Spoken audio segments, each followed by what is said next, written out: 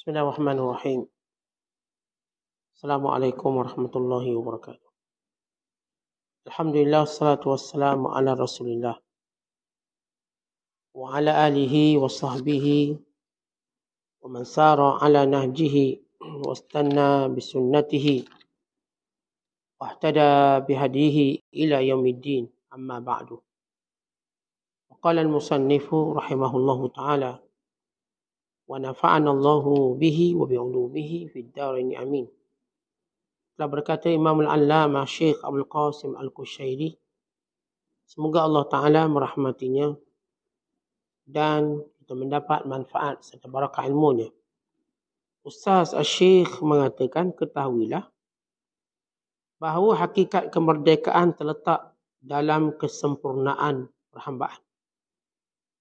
Jika perhambaannya benar untuk Allah, maka kemerdekaannya bersih dari perhambaan sesuatu yang berubah. Adapun orang yang berangan-angan dirinya diserahkan hanya kepada Allah dengan melepaskan semua waktu untuk ibadat dan menyatukannya dengan dirikannya dari batasan amal ma'ruf nahi munkar. Maka dia adalah orang yang mengerti dalam membezakan beban-beban hukum. Demikian itu menjadikannya terlepas dari dua dunia. Allah Ta'ala berfirman, wa'bud rabbaka hatta ya'tiakal yaqin. Dan sembahlah Tuhanmu hingga keyakinan mendatangimu, yakni kematian. Muslimin dan muslimat, saya penonton rahmat Allah sekalian. Bila kita bercerita tentang al-hurriyah, kebebasan. Kebebasan yang kita bicarakan ialah dalam ilmu kesufian. Yang memberi maksud hamba merasa bebas daripada segala hal-hal keduniaan dalam dari daripada segala hal-hal kesyahwatan bukan bebas daripada segala bebanan-bebanan duniawi. Dan huriyah bebas juga ialah terbebas daripada bebanan syariat. Artinya seorang melakukan perintah Allah tanpa rasa terbeban. Tanpa merasa suka.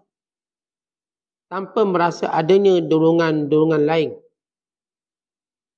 Yang menjadikan dia beribadat seperti persekitaran, orang ramai dan sebagainya. Huriyah ialah jiwa yang merdeka yang melakukan sesuatu dengan terikat kepada Allah Subhanahu Wa Taala saja. Kata ulama, makna hurriyah kemerdekaan dia berkait dengan dua unsur penting. Yang pertama, bebas daripada segala perkara-perkara yang tiada kaitan dengan Allah Taala. Bebas daripada segalanya. Yang kedua, mengikat diri dengan seluruh perintah Allah. Mengikat diri dengan seluruh kehendak Allah. Dengan membuang kehendak nafsu, dengan membuang kehendak-kehendak duniawinya. Yang ada kehendaknya ialah kehendak Allah Ta'ala. Kita ada beberapa istilah yang hampir sama. Tapi tak serupa. Di antaranya ialah istilah yang kita sebut ubudiyah, perhambaan mutlak pada Allah. Kita ada istilah yang kita sebut ibadat, kemudian kita sebut sebagai ubudiyah, kemudian kita sebut hurriyah. Bila kita sebut ibadat, ialah seorang melakukannya dengan ilmu. Orang sembahyang, puasa. Bila kita sebut umbudiyah, perhambaan, memberi maksud seorang yang bermujahadah. Untuk benar-benar meletakkan dirinya sebagai hamba. Nak buat semua perintah.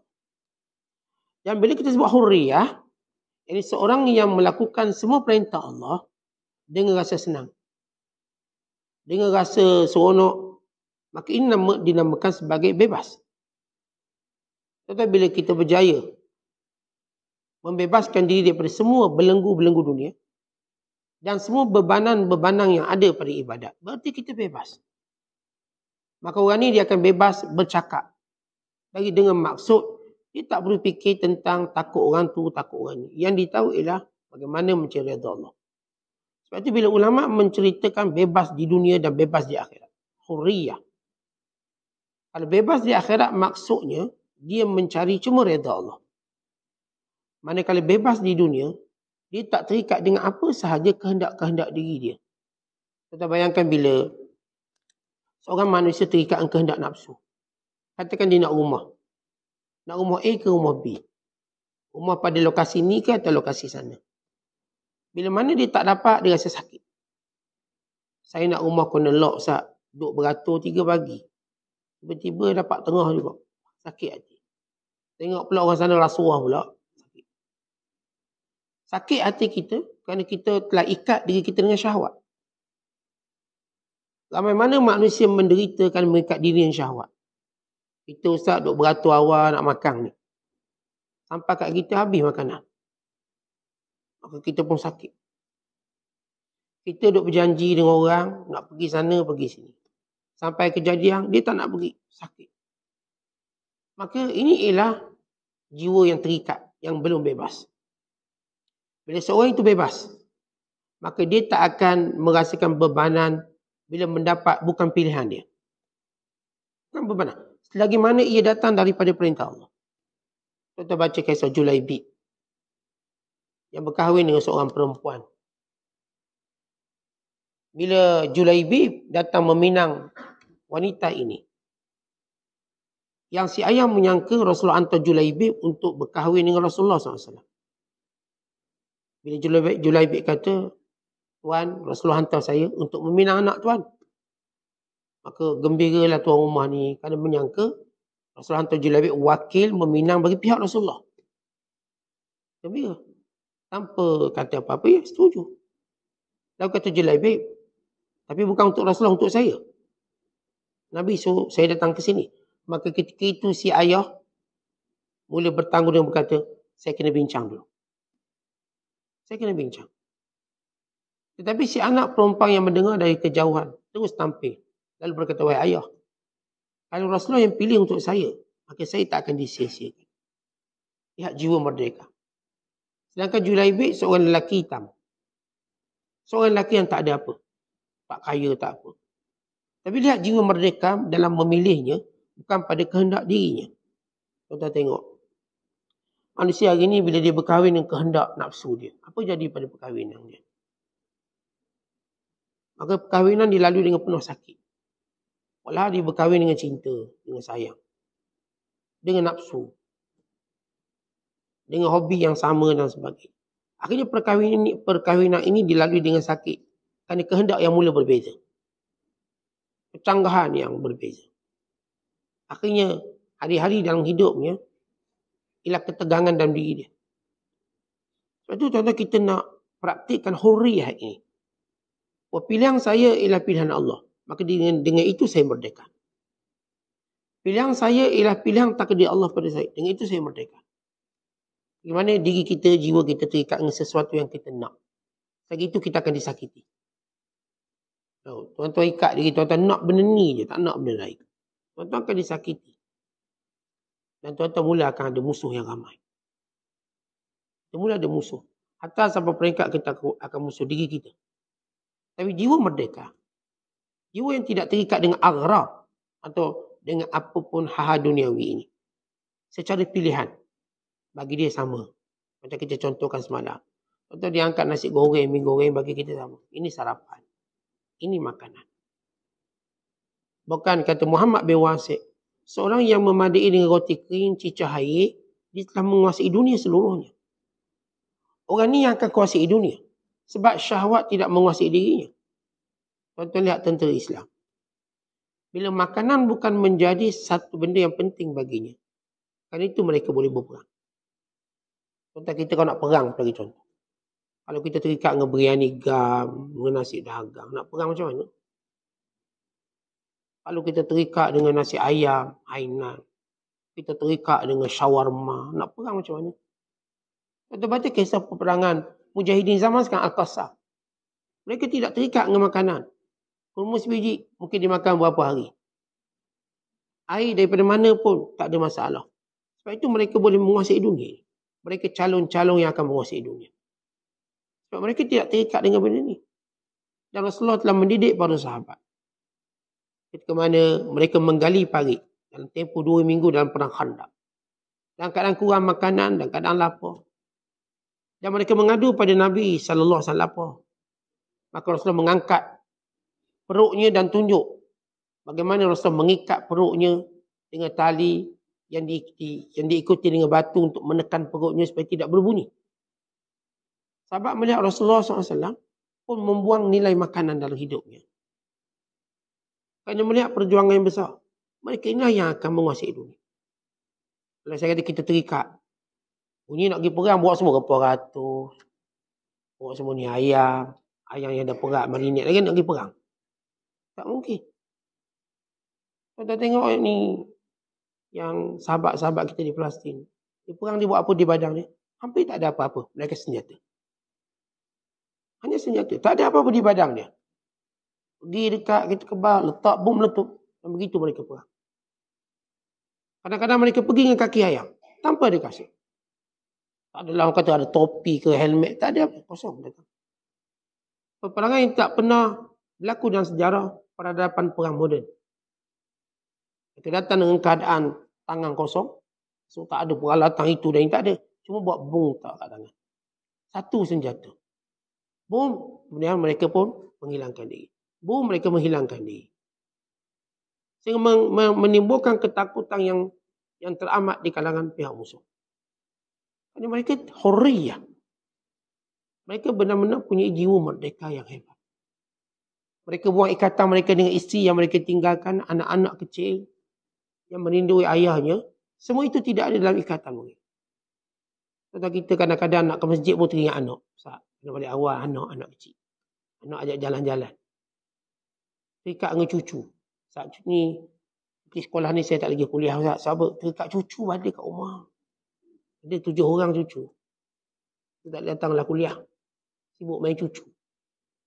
Kita lihat bagaimana kita tidak punya huriyah pada benda yang menjadi satu kebiasaan kita dalam beragama pun kita tak boleh nak iltizam hanya dengan sedikit ujian yang telah menjadikan kita hamba kalau kita menjadi hamba cucu kita menjadi hamba kepada cuti kita kita menjadi hamba pada semua benda ni sehingga kita tidak boleh buat perkara yang menjadi rutin ibadat kita pada Allah maka kita tidak punya huriyah kerana jiwa huriyah adalah sebut jiwa yang pertama tak dapat tak akan membezakan antara sesuatu bentuk. Dan jiwa huriyah tidak terikat dengan sesuatu. Dan jiwa huriyah tak akan berhenti dalam melaksanakan benda yang mereka biasaannya dalam mentaati Allah. Ini huriyah. Contoh dia tak terikat dengan tidur. Akhirnya dia boleh bangun malam. Apa yang dikehendakinya. Dia tak terikat.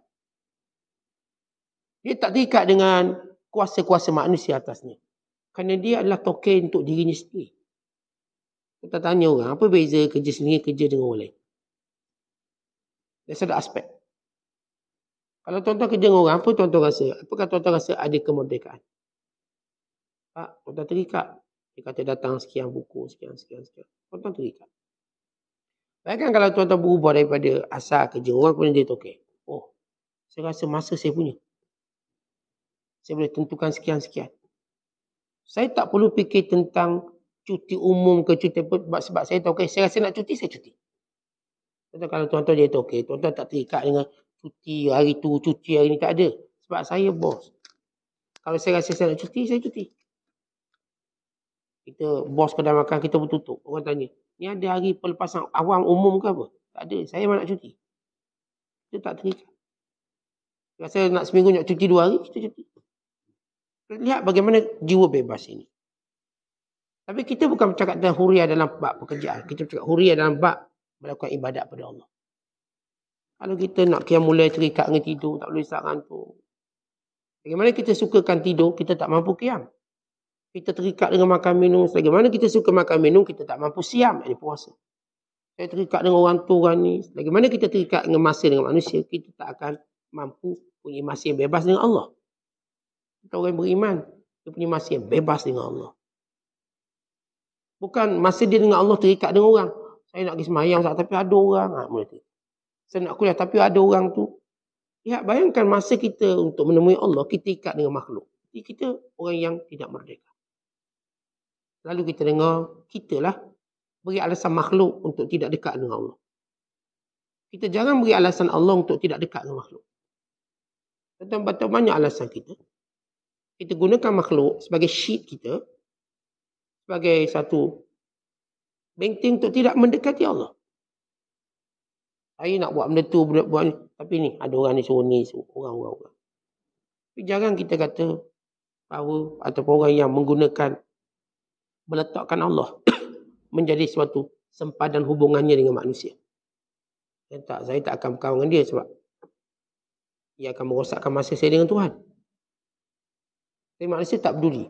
Dia akan kawan dengan semua orang yang merosakkan masa dia dengan Tuhan. Bukan kadang-kadang isterinya merosakkan masa dia dengan Tuhan. Kadang-kadang suaminya merosakkan masa dia dengan Tuhan. Kita lihat bila Rasulullah ajar orang lelaki.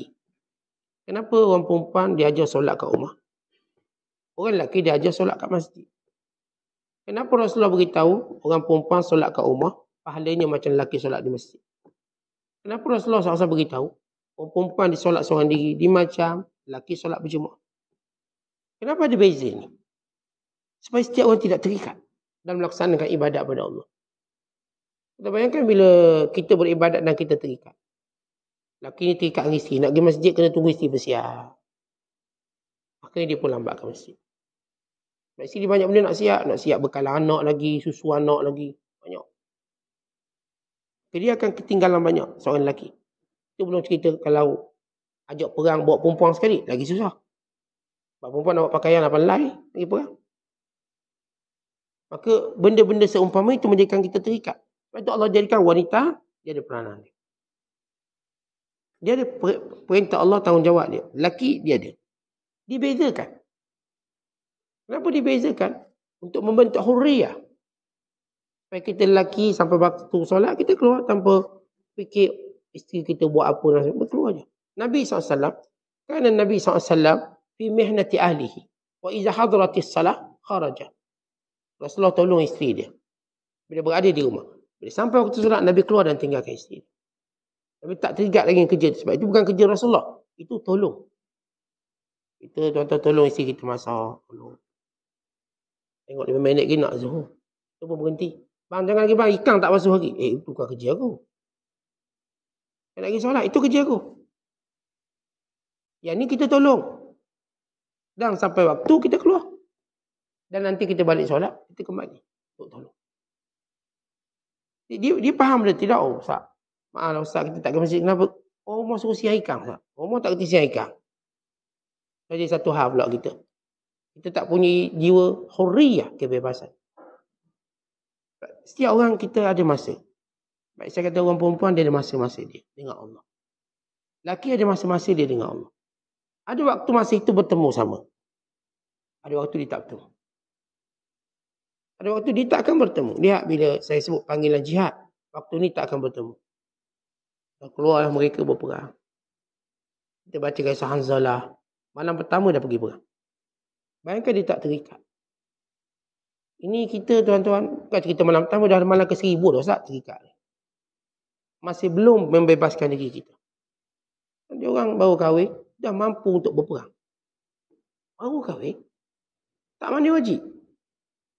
Sehingga dimandikan oleh malaikat.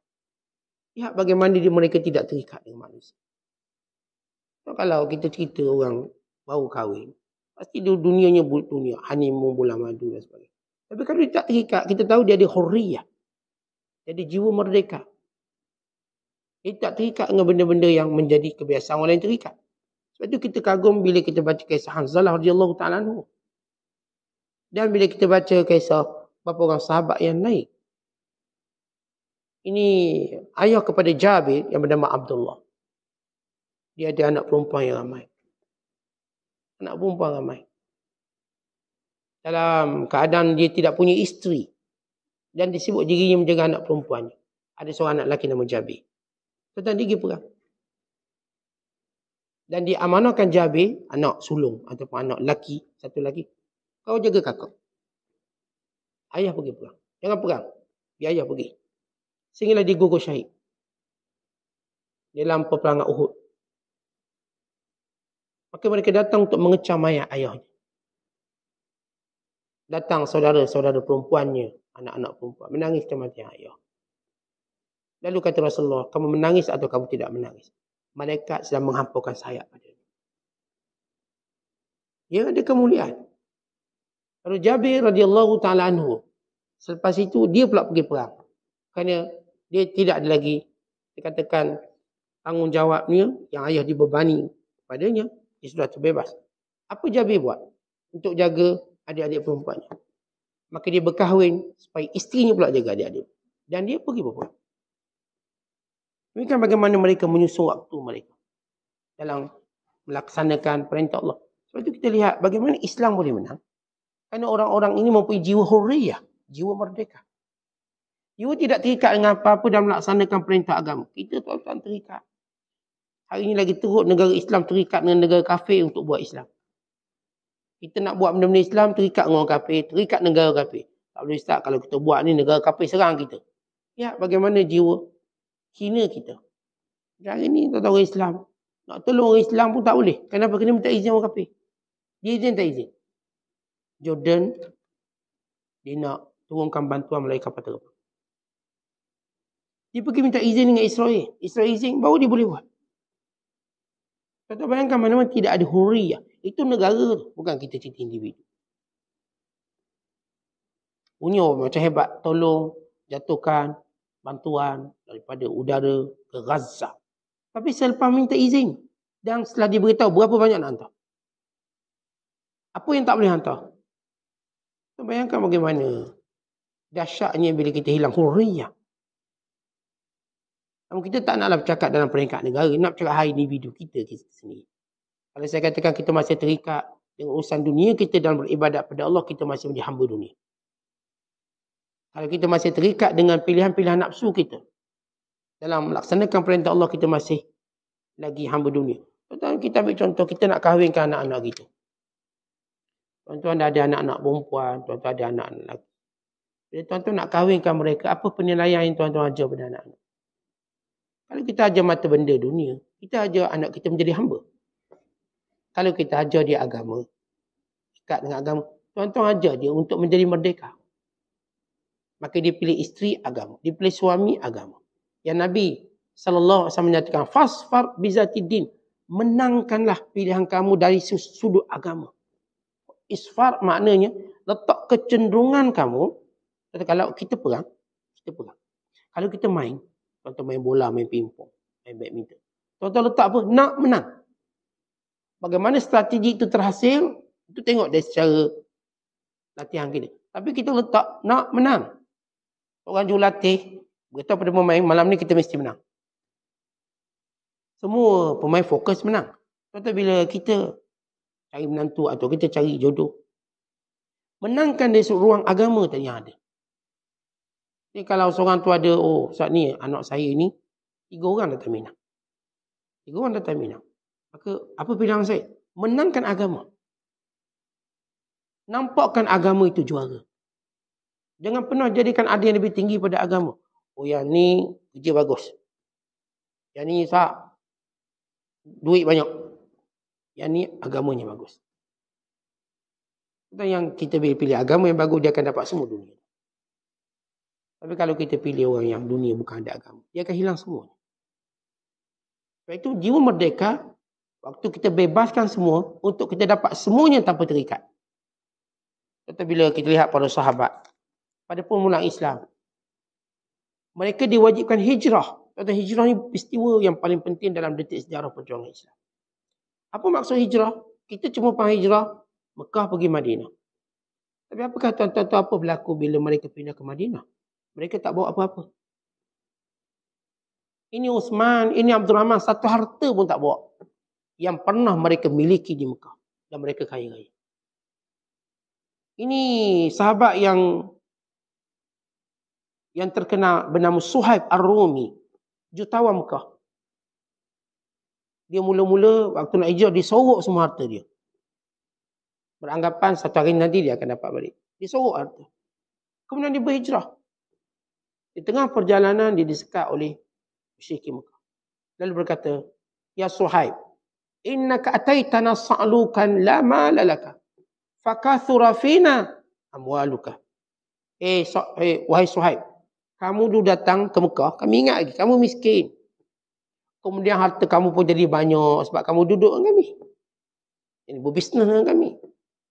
Apakah hari ini kamu akan tinggalkan kami dengan harta kamu? Tidak mungkin. Kesuhaib.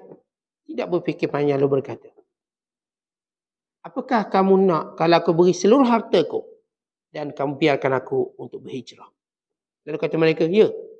Kalau begitu hartaku di tempat ini, tempat ini. Bebas daripada harta. Dia pergi ke Madinah dengan tak ingat lagi hartanya. Melainkan pergi melihat, pergi hijrah kerana Allah. Lalu bila Rasul, dia sampai saja di Madinah, apa kata Rasulullah? Nabi tengok Suhaib Rumi dari kejauhan Nabi kata apa? Rabbiha Aba Yahya. Untungnya Abu Yahya. Gelaran baginya. Untungnya. Perniagaan yang Allah terima. Dan tu ayat. Wa man yashri nafsahu btigha'a mardatillah. Siapa sanggup menjual dirinya dan apa yang dimilikinya untuk mencari redha Allah. Inilah jiwa merdeka. Tuan kita, mereka ni harta banyak. Hijrah tak boleh buat, tak, tak, Allah Ta'ala uji mereka tak buat sikit Tapi mereka sanggup. Kenapa? Jiwa merdeka. Apakah bila mereka sampai ke Madinah mereka jadi miskin? Tak. Mereka pun kaya. Tapi kali ini mereka kaya tanpa terikat. Kaya mereka tanpa terikat. Dengan maksud harta ini digunakan untuk perjuangan agama. Ini Abdul Rahman tinggal harta banyak. Datang tak ada apa-apa. Sehingga dia meminjam dengan Sa'ad bin Rabi. Pinjam. Tak ada duit. Pinjam. Dan dimulakan perniagaan sehingga dia kaya kembali. Tapi kaya sesudah dia membebaskan dirinya daripada tunduk pada harta dunia ini. Yang diperoleh pada zaman kafirnya. Hari ini dia mendapat harta pada zaman Islam dan hijrahnya. Pada keadaan jiwanya merdeka. Tuan-tuan kita ajar anak-anak kita. Biar disiplin jaga solat dulu. Okey, cari harta. Ini solat pun tak lekat. Kan nak cari duit. Maka dia mendapat harta yang akan ikat diri. Orang yang kita ajar anak-anak kita solat. Ajar anak kita patuh hukum. Ni anak-anak ni kalau nak pilih kerja, ni tempat ni tak bagi solat, saya tak kerja tempat ni. Oh tempat ni bagi solat, saya akan kerja. Dan ini orang-orang yang merdeka. Sebab itu para ulama menyebut, merdeka terhasil sesudah sempurna ibadat dia. Sesudah sempurna ketaatan dia dari sudut hukum hakamnya, maka dia benar-benar merdeka bila perasaannya tidak lagi melihat semua hukum hakam itu beban bagi dia. Ini makna merdeka. Jadi apa yang disebut oleh para ulama lagi, tanda kemerdekaan bagi seorang hamba adalah ketiadaan hatinya di bawah perhambaan makhluk, kepentingan duniawi dan tujuan-tujuan akhirat. Baik kita faham tentang merdeka daripada keperluan tunduk pada makhluk, pada benda yang menyanggah perintah Allah. Tapi bagaimana dia merdeka di, dengan tujuan akhirat? Ini kata Rabi' Antu Adawiyah. Kata, Ya Allah, aku tidak menyembahmu kerana inginkan syurgamu atau takut nerakamu. Aku menyembahmu kerana cinta padamu. Maksudnya tuan-tuan sekalian, secara makna yang disebut oleh ulama. Ialah orang-orang yang melihat dalam destinasi akhiratnya ialah pendekatan dengan Allah, redha Allah. Orang ini dah mencapai hurriyah yang tinggi. Atau bukan kita kata tak nak syurga, bukan tak takut neraka. Itu fitrah. Tapi setiap kita ni tuan-tuan, macam gini. Kalau sekiranya kita sebut nak makan, kita nak makan lah. Ada orang cerita makan, kita kenyang lah. Kenyang. Kenyang, dia nak makan macam-macam. Ada orang boleh sebut je makan satu tempat tak. Saya nak rasa satu je makan nasi. Kau maksud dia tak nak makan lain? Satu. Ni yang menjadi signature dia apa ni? Ni restoran ni dari signature dia. Dia ada misi yang. Bau. Recommended dia apa? Yang ni. Bukan maknanya tolak yang lain. Tapi fokusnya ke situ. Fokus itu. Seorang pemain bola yang hebat contohlah. Dia memilih untuk mencari, mencetak go yang cantik. Bukan sekadar macam orang biasa cuma nak menang. Dia mencipta go yang paling cantik dia boleh buat. Itu mungkin difikirkan. Kata bila orang tu makin dekat dengan Allah. Maka cerita syurga dan neraka ini seperti hilang. Kerana yang dinampak ialah Allah. Yang menciptakan syurga dan neraka. Yang menciptakan syurga dan neraka. Kata kita, oh, jenis orang belum atau baru semangat nak kaya. Kita cuma nak tengok hasil kekayaan. Kereta besar, rumah besar, nak tengok juga private jet, yacht. Tapi orang bila faham satu benda, dia tak nak tengok benda tu. Dia nak tengok siapa pemiliknya. Siapa pemiliknya? Saya nak jumpa dengan pemilik dia. Saya bukan nak tengok kereta tu. Saya nak tengok orangnya. Tuan-tuan mungkin boleh jumpa kereta tu kat mana-mana. Rumah tu kat mana-mana.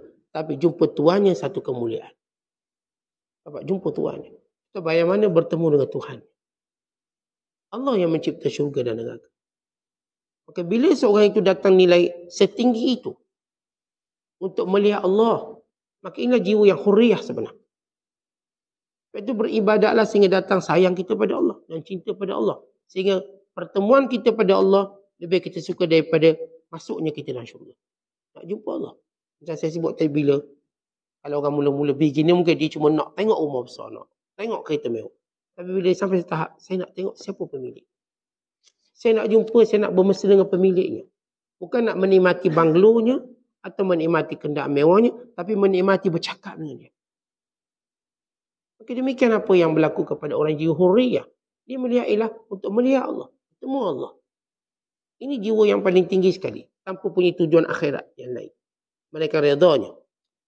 Dirinya adalah dirinya. Seorang yang merdeka tu artinya dia mengenal dirinya adalah dirinya. Kata kita jangan tengok orang lain, jangan banding orang lain. Diri kita ialah diri kita. Yang terus sibuk dengan perintah Allah. Tapi kalau kita mula bandingkan dengan orang lain, kita mula tidak sibuk diri kita dengan apa yang patut kita buat. Tuan-tuan tengok bila kita mula mengumpat orang lain. Bila kita cuba bercerita tentang orang lain, tidakkah kita telah membuang masa untuk kita dekat dengan Allah? Tuan-tuan, bila kita dengki dengan orang lain, bukankah dia dah hilang masa kita, semangat kita untuk perform untuk diri kita sendiri? Sebab dengki orang tu dengki, duduk fikir orang tu siap hari. Kita lihat masanya dihabiskan bercakap hal orang lain. Daripada atas kenderaan, sampai atas kati, duduk cerita orang.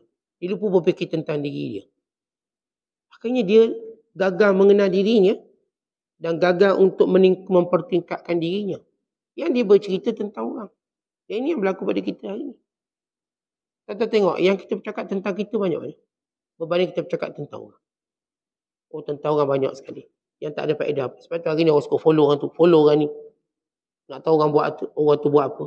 Nak tahu ni, dia punya selebriti makan pagi belum? Dia belum makan lagi dia. Dia, dia sendiri. Ada kalau dia buat, roti canai dah siap.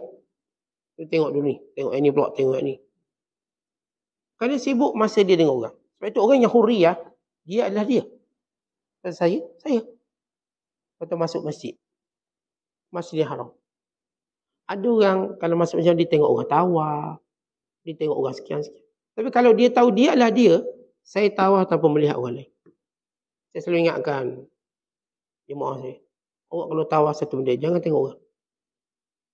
Sebab kita akan tengok macam-macam orang yang menangis, yang berjalan pakai lutut. Kita akan tengok orang, ya macam-macam. Yang berpegang tangan, yang bergaduh depan tu pun.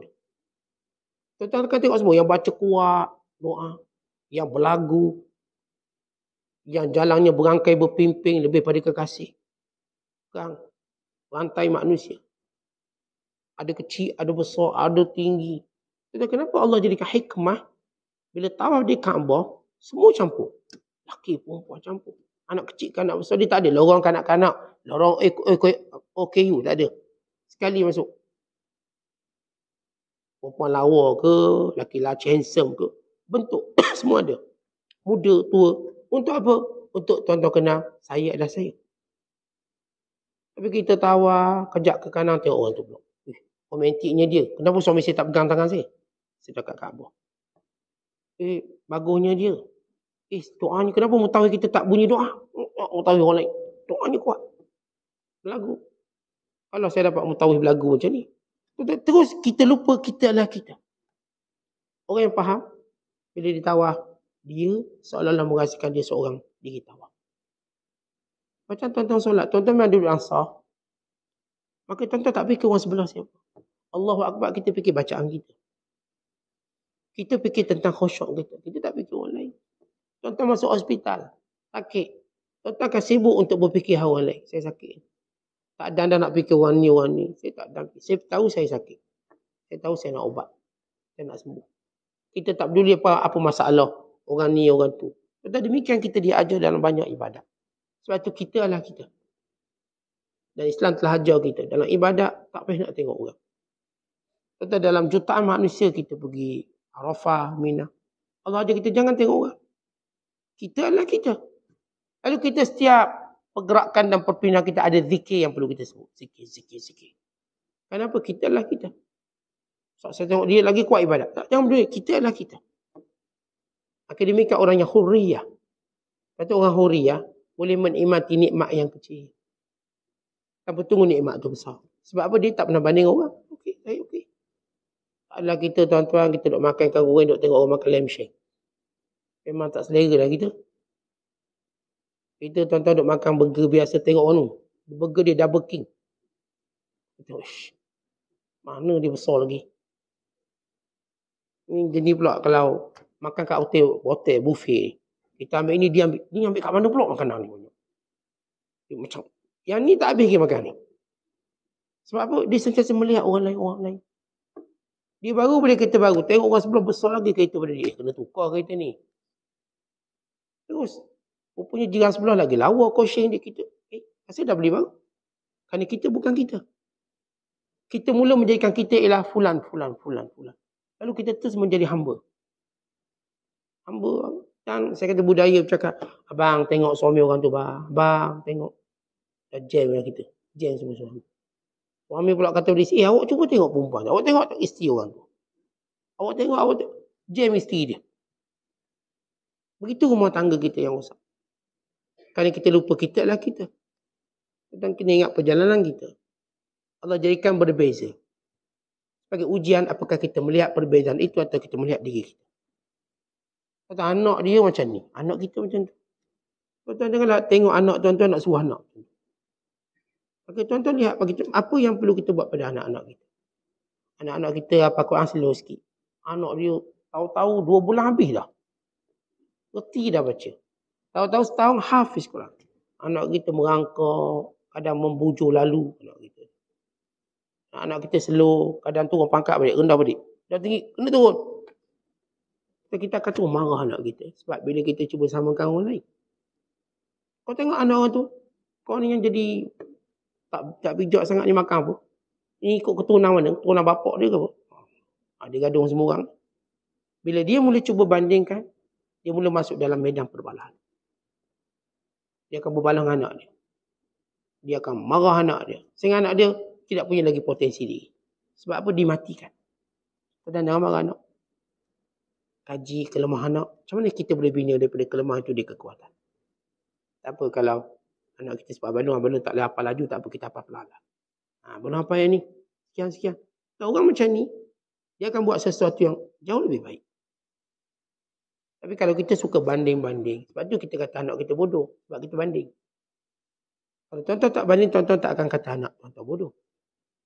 Tak orang semua, eh, anak saya semua I. Itu mula marah. Tak anak kita, saya katakan setiap orang. Dia ada kemuliaan dia. Allah bila ciptakan, Allah kata macam ni. Walaqad khalaqnal insana fi ahsani taqwim. Kami jadikan manusia semulia-mulia makhluk. Allah tak kata fulan bin fulan mulia, Allah kata manusia. Kalau tuan-tuan tengok manusia semuanya mulia. Yang penting dia berada pada landasan kemuliaan itu, iaitu mentaati Allah. Anak kita mulia. Anak kita bijak. Tuan isteri kita mulia.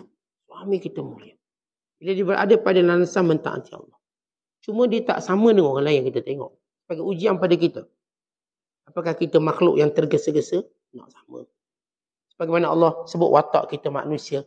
Wa kanal insanu ajula adalah manusia itu sifatnya tergesa-gesa. Kalau dia bila banding orang tu dia nak cepat biar jadi macam orang tu. Tentang kita adalah kita. Ini adalah makna huriyah. Dan kesibukan kita dalam kesungguhan kita membaiki diri kita. Kemudian kata Syekh. Tidak ada satu pun keduniaan yang sifatnya sementara. Dunia tadi sifat sudah. Akan boleh memperbudakkannya, memperhambakan. Tidak juga keinginan atau angan-angan, permintaan, tujuan dan harapan, bahagian atau keuntungannya. Dirinya bebas pada semua itu. Contoh kita ada cita-cita. Semua orang Allah, kita kita dah dibentuk dengan apa nak jadi, apa nak jadi. Cita-cita apa nak jadi apa? Cuba sebut sekian-sekian. Contoh kita tak terikat dengan benda. Kita boleh berangan, kita boleh bercita-cita, tapi kita tak terikat. Maksudnya ialah, boleh usaha ke arah kita usaha. Namun bila sampai waktu, tidak begitu. Kita tak terikat. Bukan, bukan rezeki saya di situ. Mana anak saya saya nak suruh jadi sekian-sekian. Tapi bukan rezekinya di situ. Ini orang jiwa merdeka. Sebab dia tak terikat. Dia punya angan-angan yang dia tak terikat. So, bila kita baca, saya baca uh, sebab-sebab bunuh diri di Jepun. Sebab dia dah latihan anak dia daripada kecil nak jadi siapa? Engineer kita. Kalau tak jadi dia bunuh diri. Mak dia malu, dia malu. Bagi dia dia sudah gagal. Tapi bagi kita bukan. Kerana kita tahu bagaimana takdir Allah Taala. Kita boleh bercita-cita, silakan. Kita boleh berangan, silakan. Tapi bagaimana keputusan kita tahu. Allah yang tentukan. Kita boleh bercerita dengan biasa. Saya dulu memang nak jadi doktor Ustaz tapi rezeki saya kat sini. Kerana kita tak mula tak terikat. Kerana kita faham. Saya dulu nak jadi engineer tapi rezeki saya di sini. Saya nak jadi cikgu. Tapi rezeki saya dapat bini cikgu. Okay. Saya nak jadi sekian. Rezeki saya dapat benda ni. Tetapi ini semua benda-benda yang kita terima. Kerana kita tak terikat. Yang saya kata ni sampai peringkat bunuh diri kalau tak dapat benda dia nak. Dia bunuh diri. Bahkan kadang-kala menyalahi hukum. Ada seorang perempuan nak jadi pramugari. Tapi tak cukup tinggi. Dia pun cuba buat tinggi. Patahkan tulang dia untuk tinggi. Jumpa doktor tulang. Mana suruh tinggi? Doktor kata patahkan tulang. Tak alat, tarik tulang sikit-sikit. Maka naik berapa cm dalam masa setahun. Tetapi bila dah tulang dia sembuh, akhirnya dia tak fikir pula nak jadi pramugari. Tukar cita-cita lain pula. Bayangkan nanti dia nak patahkan apa pula. Ini orang-orang yang terikat dengan cita-cita itu. Dan menjadi hamba. Tuan-tuan, saya kata kita boleh berangan, boleh bercita-cita. Tapi jangan hamba kepada cita-cita kita. Kita tak akan jadi hamba pada cita-cita kita. Saya manusia yang merdeka. Saya akan bercita-cita, tapi saya tak terikat. Cita-cita saya hari ni pagi ni nak makan sekian-sekian. Ni, tak, ni terasa ni. Elio ni terasa nak makan lemang lagi. Ibu tengok angkat bukan lemah. Biasa. Itu okey. Kita boleh punya selera, tapi apa pun yang datang, kita okey. Kenapa? Kita merdeka. Kita merdeka. Kita tak akan terikat dengan benda itu. Maka ini jiwa merdeka hurriyah. Di dalam kehidupan manusia. Kata Ashibli atau dalam Ashibli. Dia kata, tidak akan engkau tahu bahawa, orang tanya pada dia, tidak akan engkau tahu Allah itu penyayang? Dia kata, benar. Sebab aku tahulah aku tak minta Allah sayangi aku. Sebab Tuhan adalah penyayang. Kata gini, satu analogi mudah. Kalau tuan-tuan tahu isteri tuan-tuan sayang tuan-tuan, tuan-tuan kena tanya ke, awak sayang tak abang? Tuan-tuan kena tanya. Orang yang tanya kali tak yakin. Seorang isteri tanya, bang, nak tanya, abang sayang tak saya? Pada tengok suami dia punya bagus. Baru niat sarapan dah sampai kat depan. Suami dia punya bagus. Abang saya baru niat, abang dah beli. Ya, Pak dia sayang. Isteri dia baru sebut, dia dah habiskan. Tiba-tiba dia tanya soalan, abang sayang tak saya? Bagi suami ni kata, eh, ni soalan ni tak patut ditanya setelah dia melihat semua benda. Kenapa perlu tanya? Atau abang, abang kena sayang saya. Apa lagi yang kurang? Seolah orang kalau berada pada memahami Allah penyayang, maka dia tak kata, ya Allah sayangkan sayang aku. Tadi tahu Allah sayang dia. Dengan segala nikmat sekian-sekian. Dari satu sudut. Yang bila kita mula mengenali Allah, kita tak perlu tanya sayang dia pada kita. Tapi kita terus sibuk buat apa yang menjadikan dia sayang pada kita. Tentu kita tahu, Allah dah sebut Allah sayang orang macam mana. Sekian, sekian, sekian, sekian. Allah rahmati orang macam mana. Allah dah sebut dalam banyak ayat-ayat Al-Quran. Allah merahmati orang ni, orang ni, orang ni, orang ni. Dan Nabi kita sama-sama dah sebut. Allah merahmati orang sekian, sekian, sekian. sekian. Rahimallahu mra'an. Samhan iza syara wa samhan iza ba'a wa samhan iza qtada. Allah merahmati orang yang bila belinya juga tolak ansur. Bila meniaganya tolak ansur. Bila minta hutangnya tolak ansur. Bila bayar hutangnya juga tolak ansur. Maksudnya kalau hutangnya, dia patut bayar bulan depan. Tak apa, minggu ni dia bayar. Dia boleh kata kamu bulan depan, bukan minggu ni. Tapi dia tolak ansur untuk bayar awal. Ini orang berhutang. Orang yang berhutang pula tolak ansur. Berapa hutang? 100 tak apa, bayar 80. Ini semua orang yang Allah rahmati dan Allah sayang. Tetapi kita buat benda tu. Lalu kita sibuk sehingga tak sempat nak sebut Ya Allah rahmati saya, sayangi saya. Sampai tak sempat nak sebut. Ini maksud dalam asyibli. Ini kalau saya katakan dalam hubungan suami isteri. Kita tak perlu tanya atau tanya pasangan kita, awak sayang saya tak? Awak cinta saya tak? Tetapi bila kita buat satu benda yang dia cinta, dia akan cinta kita. Tak perlu dia beritahu saya sayang awak. Itu cerita orang belum kahwin boleh lah.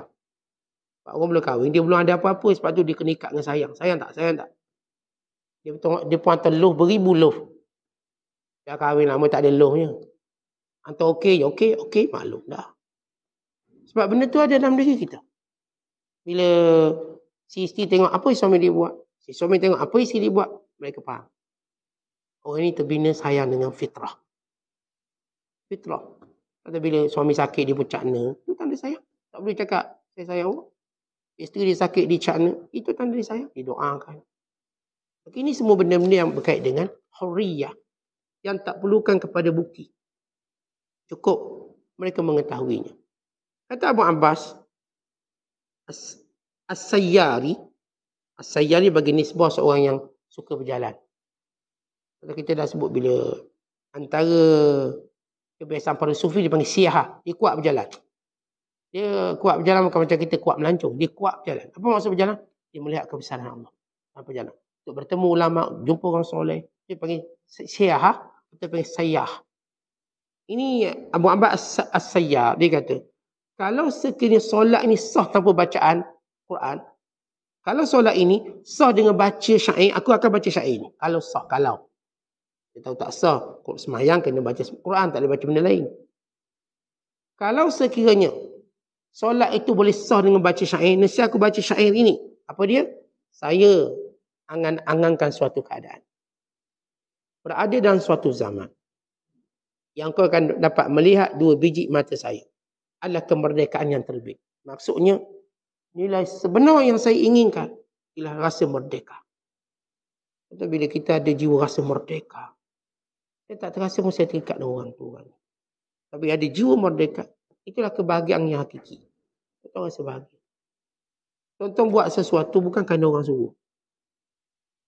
Apa beza kalau macam contoh? Kalau kita ambil contoh, kita suami lah. Kita pergi dapur, kacau air sendiri, buat sendiri. Tanpa anak-anak kita suruh, tanpa bini kita suruh, kita buat untuk beri minum isteri dan anak-anak kita. Contoh rasa seronok-seronok sebab saya buat, bukan bini saya suruh. Bukan saya ni yang kontrol, tak. saya suka. Sisi pula bila dia buat kerja dapur tanpa suami dia suruh. Bukan suami dia kata, kau pergi masak, kau buat air, tak ada. Dia dengan suka rela masuk dapur. Dia dengan seronoknya masuk dapur, buat sekian-sekian. Diberi makan minum anak dengan rasa gembira. Huriyah. Bukankah itu dia akan rasa bahagia? Walau sepenak mana pun dia kat dapur. Sebab dia buat bukan ada orang suruh. Dia buat dengan jiwa merdeka dia. Maka ini dimaksudkan oleh penyai. Bila di mata ku lihat terbit sinar merdeka. Aku yang rasa merdeka. Aku yang rasa bebas. Banyak para, usul, para ulama sufi. Dalam menterjemahkan makna hurriyah merdeka. Antoni Hussein bin Mansur kata apa? Maksudnya siapa yang nak merdeka Maka terus menerus ibadat pada Allah sehingga dia rasa merdeka. Atau bila saya katakan kita bila buat ibadat ada beban. Itu fitrah. Nak sembahyang subuh rasa tak beban. Oh tak susah. Lima pagi dah kena bangun. Kena mandi pula. Tuan-tuan nak pergi haji. Tuan-tuan rasa beban tak pergi haji? Dia cakap secara umum. Eh beban, duit. Tengok berapa bayar? 30 ribu. 40 ribu. Lagi naik kapal terbang lagi jauh pula 8 jam. Lepas tu tengok airport bersosok-sosok. Lepas tu kita tak apa selesa pakai ke. Yang itu bukan pakaian biasa kita pakai. Kita pun tak pernah pun apa ni training pakai ke ihram sebelum pergi haji pakai ke ihram seminggu ke masjid. Ada orang buat macam tu. Kita pernah tengok sebab nak biasa pakai ihram bila nak pergi haji minggu depan. Lima waktu solat dia pun pakai ke ihram atas masjid. Datang kuliah pakai masjid ustaz tengok. Dia pakai ihram latihan ustaz. Dia pun naik kereta pergi bandar JP pakai kamera. Nak biasa.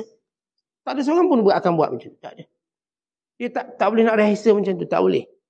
Pada hari kejadian je kita pakai. Benar-benar pada hari kejadian. Untuk menjadikan dia benar-benar ujian. Benar-benar ujian tanpa se, kalau kita lelaki lah. Tanpa ada semua pakaian lain melainkan pakaian. Itu dah fikir macam-macam lagi. Ini saat kalau kain melungkuk jatuh apa hukum? Ha, hukum. Saat ni kalau kalau kalau banyak buah kalau dia.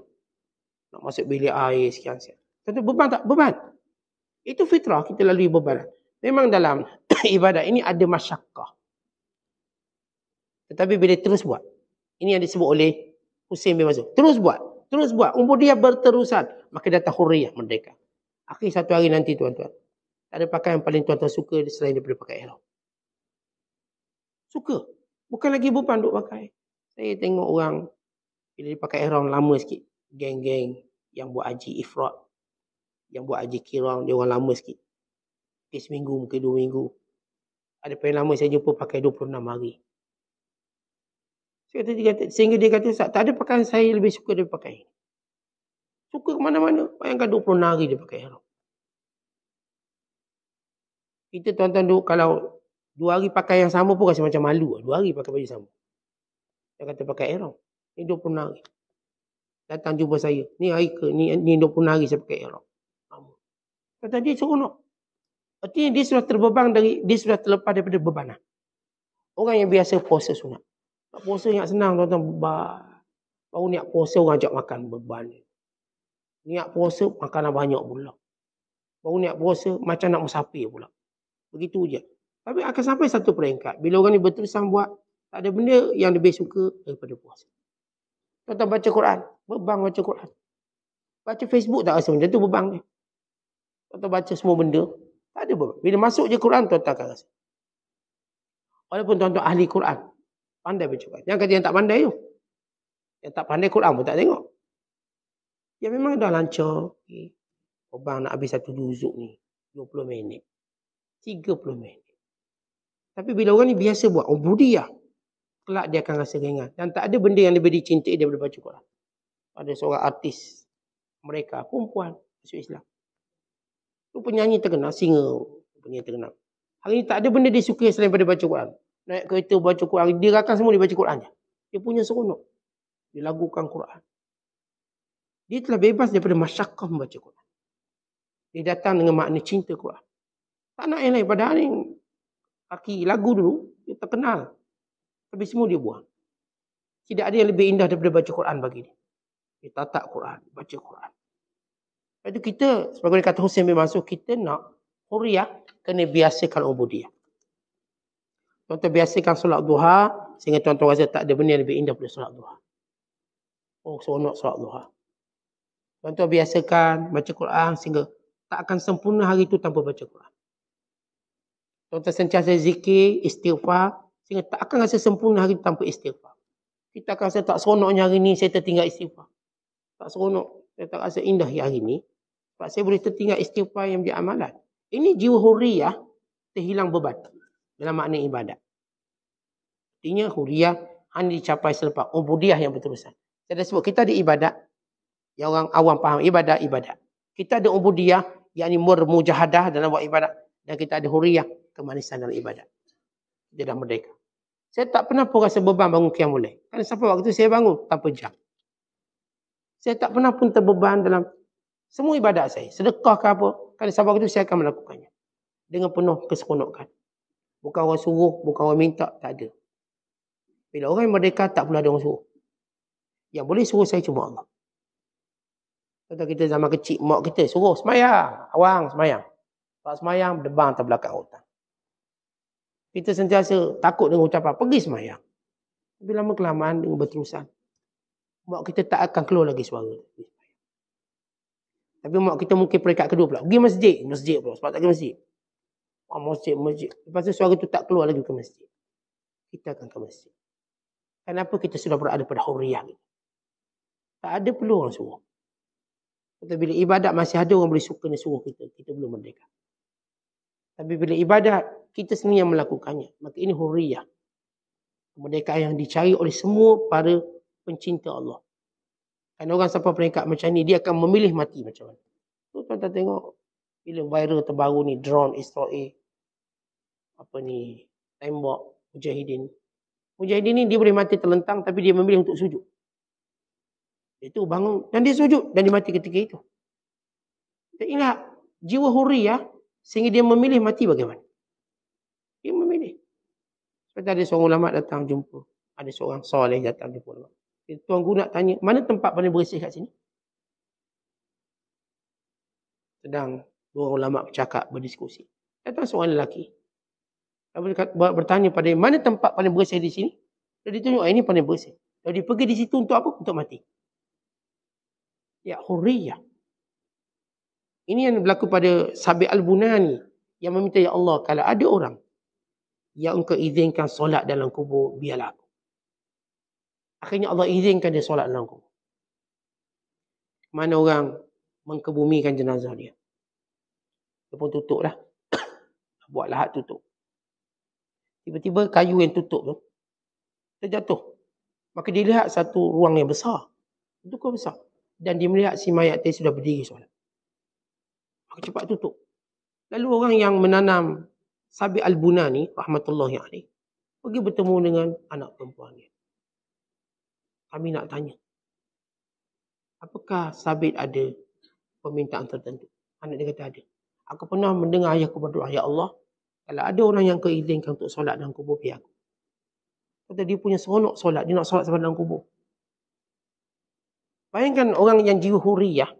Dia telah memilih bagaimana cara dia. Berada. Kerana bila orang tu saya katakan Allah bagi dia huriyah ini. Maka dia akan terus memilih yang terbaik dalam beragama.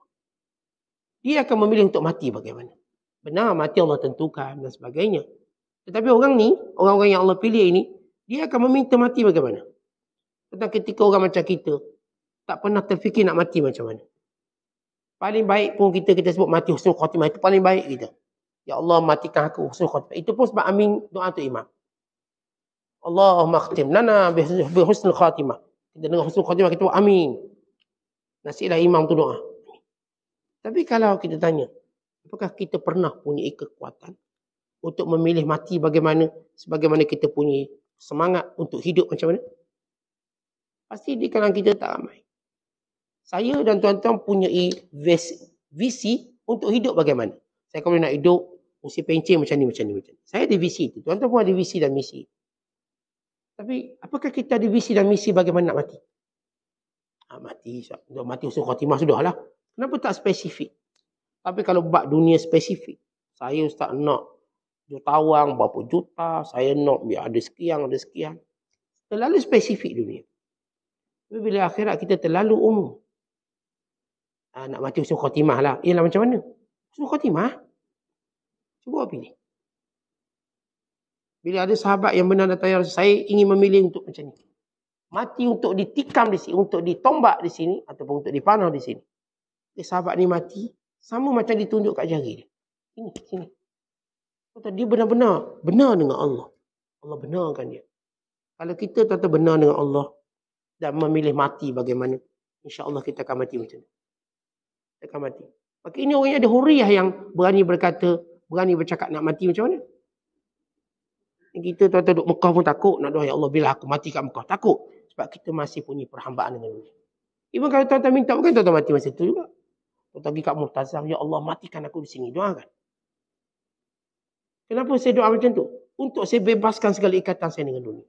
Kata para ulama menyebut. Bila seorang berada pada tempat yang mulia dan diminta mati, ia memberi maksud jiwanya sudah bebas dari semua ikatan. Dia baru nak doa. Ustaz kata awak ni kalau kat Multazam, kan pergi doa. Ya Allah matikan kau kat sini. Ustaz, anak saya daftar sekolah minggu depan. Jadi, kalau mati anak siapa daftar. Satu lagi Ustaz ni, anak sulung saya nak kahwin. Duit kemah tak bayar ni. Kata kita, kalau orang ni, saya katakan minta mati, dia pun dia tak akan mati. Tuan, saya dah beberapa kali duduk multazam dan saya tak mati di situ. Saya tak mati pun. Kerana Allah akan tentukan bila saya mati. Tapi saya tahu itulah kemuliaan untuk minta mati di situ. Saya tahu kemuliaan. Saya minta mati di Mekah. Saya minta mati di Madinah. Entah kalau saya kata setiap kali saya pergi haji, saya akan minta mati di situ. Bukan maksudnya, oh tuan-tuan minta, ya Allah mati. Lalu kita mati. Kerana Allah yang tentukan. Tetapi itulah usaha kita. Untuk apa? Bebas daripada ikatan dunia. Bebas. Ini kita kadang-kadang baru fikir nak mati. Tak boleh kejap, kejap, kejap, kejap. Awak tak nak biasa doa kan? Awak mati sini. Eh, jangan, jangan. Anak ni terikat Ustaz ni banyak. Dia cerita kat dunia ni. Sebab dia janji ni Ustaz balik haji ni. Nak pergi Eropah. Nak pergi Balkan. Lihat bagaimana kita terikat dengan dunia banyak. Sebab tu kita tak merdeka. Sebab tu tuan-tuan kita bila pergi haji, bila pergi tempat mustahil. Kita tak ada doa yang benar-benar menjadikan kita merdeka. Dia terus terikat. Terikat dan terikat. Bila Umar Khattab selesai haji apa kata dia? Dan keadaan bila kita selesai haji doa mustajab. Allahumma tawaffani fi baladi rasulik. Ya Allah kau matikan aku di negeri Rasul. Kau matikan aku. Kata Umar bukanlah tua, bukan sakit kecil manis, dah tak ada penyakit tu. Ini Umar Khattab dalam kemuncak dia memerintah jatuh Rom dan Parsi. Kerana Rom dan Parsi jatuh di tangan Umar Khattab. Jadi Allah Ta'ala pada usia Umar kata, Kita kira muda lah. 63 tahun ni muda tuan-tuan. Kita 63 nak sama kontrak lagi ada ni 63 tahun. Sama kontrak. Maksudnya muda. Ini Umar Khattab. Pada usia yang sebegitu, dia minta Ya Allah matikan dia. Dengan rombak Parsi jatuh di tangan dia. Dengan khazanah kekayaan negara. Mana ada pemimpin boleh sampai ke kemuncak kuasa, dia minta mati. Dia akan matikan orang lain. Bukan dia nak mati. Dia matikan orang lain supaya dia terus berkuasa. Tapi tidak Umar kata. Kenapa? Kerana jiwanya merdeka. Riyah. Jadi kalau kita tak berani minta mati. Doa pada Allah. Sama ke mana Allah menemplak Yahudi yang mengatakan, kami anak Allah. Eh Muhammad katakan pada mereka, cuba bercita-cita mati. Kalau benar kamu anak Allah, kekasih Allah, cuba bercita-cita mati. Kerana tidak akan berani bercita-cita mati melainkan kekasih Allah. Walan yatamannahu abada kata Allah. Mereka tak akan sekali-kali cakap bab mati dan bercita-cita nak mati. Walan yatamannahu abada. Bila Allah kata, betul kamu kekasih Allah? Fatamannawul mauta in kuntum sadiqin. Sila bercita-cita mati sekarang kalau kamu orang benar. Sila. Yahudi terikat dengan banyak dunia. Kata Allah, walan yatamannahu abada. Mereka wahai Muhammad tak akan pernah bercita-cita nak mati. Tak akan. Sebab mereka berbohong. Kata, kalau kita sebut jiwa merdeka, jiwa ini tidak takut untuk meminta mati bila pun. Asalkan Allah redha. Kalau Allah redha kepadanya, ya, saya ingin mati sekarang. Kalau Allah redha pada saya. Kenapa jiwanya tak terikat? Tapi kita ni tuan-tuan jiwa terikat. Tak payah jauh. Kadang-kadang saya nak ke masjid solat terikat. Sana terikat. Sini program itu program. Mana kita nak lepasi segala ikatan dunia? Kadang-kadang kita nak buat benda penting dalam agama. Dah sampai waktu. Tapi alasan dunianya masih lagi melekat kuat. Kerana kita masih jadi hamba dunia. Itu orang yang nak membina jiwa yang merdeka dan jiwa yang benar-benar dengan Allah, maka dia kena terus bersungguh-sungguh dalam ibadahnya kepada Allah. Kemudian kata Junaid Al-Baghdadi, tidak akan dianggap sebagai seorang itu bebas merdeka selagi mana ada benda yang diterikat walaupun sekadar hisapan kecil biji di sini diterjemah biji-biji yang terkecil. Jadi kalau dia masih fikir nak hisap biji kurma atau masih nak menikmati walau sikit Walau satu dirham, dia belum merdeka. Ini ada seorang sahabat. Cerita merdeka. Tengah dia makan waktu perang. Dan satu peperangan, peperangan Uhud. Dia makan. Dia kata, Ya Rasulullah. Sambil tanya. Duduk sebelah Rasulullah, dia makan kurma. Ya Rasulullah, ara'aika. In kutil tu fa'ina ana. Ya Rasulullah, kalau saya mati. Saya perang, saya mati. Saya duduk kat mana? Kata Rasulullah dalam syurga. Dia tengok kurma dia, dia buang. Dia kata apa? Ini yang menghalang kau masuk syurga. Dia kata, bakhin, bakhin. Aduh, gembiranya, gembiranya. Maka dia membuang. Fa'alqat tamarat. Kun Nabi yadihi. Dia buang semua kurma yang ada kat tangan dia. Kerana kata, ini melambatkan aku mati. Dan dia pegang-pegang dan dia mati. Bebas daripada kurma tu. Yang kata dunia lain. Ini ini benda yang paling penting ni waktu nak perang. Kurma. Itu pun dia buang. Ini kita namakan hurriyah sebenarnya. Kata Junaid kalau orang tu masih terikat. Walaupun sikit, dia belum merdeka. Kerana orang merdeka benar-benar bebas daripada semua hal ini. Untuk dia mentaati Allah, mencari reda Allah. Kalau cerita yang buang kurma tadi. Bagi satu daripada contoh yang merdeka jiwa. Untuk berperang pada jalan Allah. Maka kita pun nilai. Kata kita bukan pada level yang mereka. Tapi kita nak. Pada perkara-perkara yang mudah ni simple tuan-tuan. Pergi kuliah, pergi masjid ambil peluang untuk pergi haji pada usia kita yang dah sampai dengan rezeki dah cukup. Kadang itu kita nak cuba tanggalkan alasan-alasan dah sampai saya pergi haji. Ini duit banyak kepuk. Bila lagi nak pergi? Tak, kota tak naik, kota tak naik. Apa cerita kota-kota ni? Nak pergi haji tak nak pergi haji? Biar ada sedikit kita katakan kesungguhan kita dan membebaskan alasan. Sebab kota tu alasan. Betul saya tengok orang-orang bila dia tak terima alasan, dia tak akan kata kota. Dia kata ada jalan lain. Dia seorang hamba Allah cuba tujuh kali. Even lapan kali untuk pergi haji. Salah seorang jemaah kita. Ini kali ke berapa cuba? Saya cuba tujuh hingga lapan kali. Baru dapat pergi. Saya lihat orang ni cuba buang alasan. Kita saat kota saya seratus tahun tu saya tengah menunggu tak sambil zikir satu tahun. Ini bukan jiwa merdeka. Ini masih jiwa terikat dengan alasan. Saya bila nak buat sesuatu pada ketaatan tu. Kalau alasan tu ada seratus depan, saya akan langkah satu persatu. Sehingga saya benar-benar mati waktu saya berjuang untuk mengatasi alasan. Maka saya terbebas alasan tersebut. Kita sekarang, kerja kita nak lawan alasan kita. Apa alasan awak tak bangun subuh? Itu bukanlah saya sebab dah tua, sebab terpayah bangun subuh. Bukan alasan. Awak patut tua lagi mudah. Tapi kita boleh tua. Sebab saya, sebab, sebab. Dia punya sebab. Dia dah nama Abu Sabak. Bapak sebab. Sebab dia tak habis-habis. Artinya sampai bila kita nak kata pada diri kita sebab tu sebab ni. Sedangkan waktu kita berdiri di hadapan Allah, satu sebab pun tak laku. Satu tak laku. Maka kenapa kita nak buat benda yang tak laku depan, depan Allah? Benda tu cuma laku seketika depan orang. Depan orang tuan-tuan bolehlah guna benda ni. Tapi tidak depan Allah. Kerana Allah tahu sebenar-benar apa dia. Kerana Allah Ta'ala pun dah tahu. Dan Allah Ta'ala pun dah suruh. Sebab cuma ujian. Sebab bukan penghalang. Dia cuma ujian. Maka kalau kita bersungguh-sungguh, maka gugurlah sebab seperti daun kering yang gugur. Kalau tuan-tuan tak bersungguh, dia terus seperti menjadi daun pisang. Tak pernah gugur walau kering. Kena senjah, kena tarik. Tak jatuh juga. Pernah tengok daun pisang. Dia dah kering, dia takkan gugur. Itulah cerita orang yang sebab sampai mati.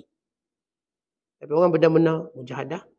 Akhirnya sebab itu akan menjadi daun kering yang berguguran dengan begitu cepat. Bukan satu, habis gugur. Sehingga menampakkan dirinya sebenar dalam mentaati Allah dan menikmati hurriyah. Wallahu a'lam Assalamualaikum